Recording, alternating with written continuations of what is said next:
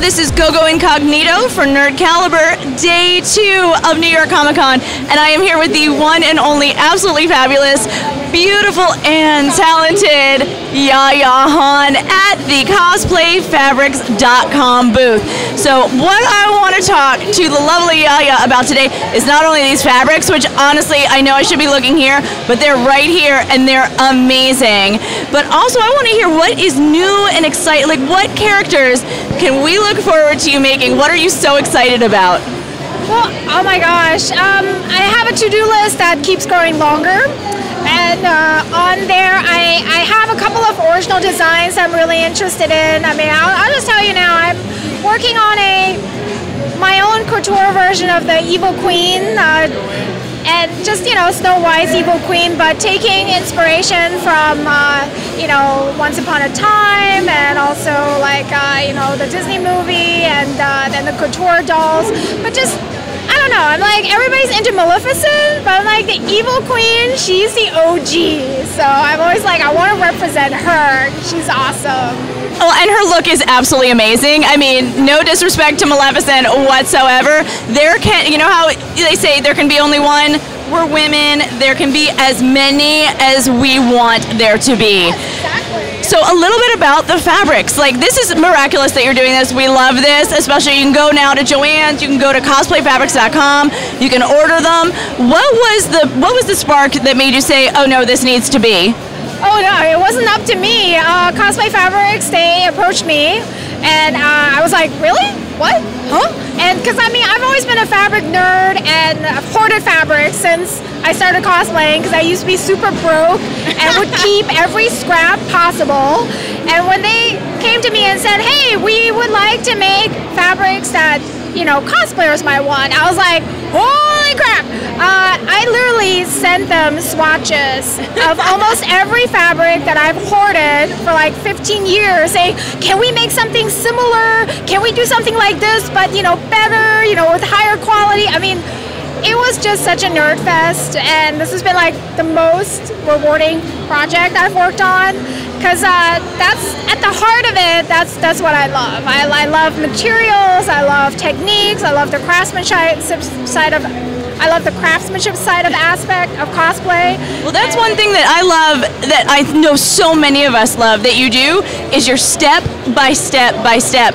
And I mean, you're you're you know you're ooh, level. But for some of us who are still new or still like it takes us you know, a month or a year to make something. It is very inspiring and also very comforting to be like, okay, this is how you do it you know, I want to thank you for those cosplay tutorials. Never stop, Yaya. Oh, Never stop. So anyway, it, do you have maybe a little bit of advice or something like to a brand new sewer? I mean, because you're you're an expert beyond. What can you tell people like me who struggle and don't always know how to finish our seams, et cetera, et cetera? Honestly, sewing to me is very zen. It's a really it's a really relaxing pastime. Uh, and the thing that people forget when they're intimidated by sewing is that you can rip the seams. If you make a mistake, you can rip the seams apart and do it again. Like it's not like uh, you know making armor or, or, or, props where you you know you, you sculpt something wrong or you put something wrong together and it's it's gone. Like with sewing, if you make a mock-up uh, so that you know all the pattern pieces are you know fitting you properly, then you can really take your time with the actual craftsmanship part of it and and know that it is forgiving, you know, like, awesome. and they're they're like uh, really use your resources available. I can't say that enough. Like my my two biggest tips for new cosplayers is to to, is to really get, get in there, dig in deep for the, the information, you know, really let curiosity govern you and guide you, and um, just be thirsty for information. And like the second is just Find a support system. Build yourself a support system with friends, family, whoever is like-minded and wants to cosplay with you, because that just makes it so much more fun and oh, a lot less right. intimidating. And it can be intimidating, but I think what Yaya is saying, this is such good advice. Don't be afraid.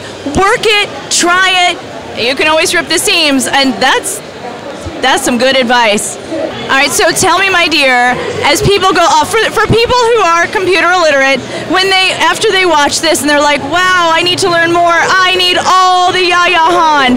Tell us where can we find you on the internet?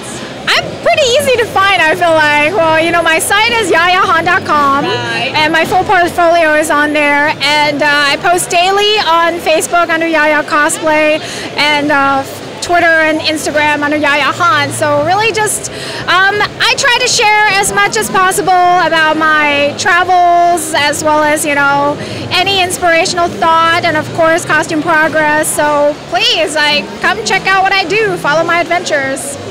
and they are amazing adventures. Seriously, for the one, maybe two, maybe one person out there who does not know this fantastic woman, Yaya Han. I'm Gogo Incognito for Nerd Caliber. Thank you, Yaya. Thank you so much.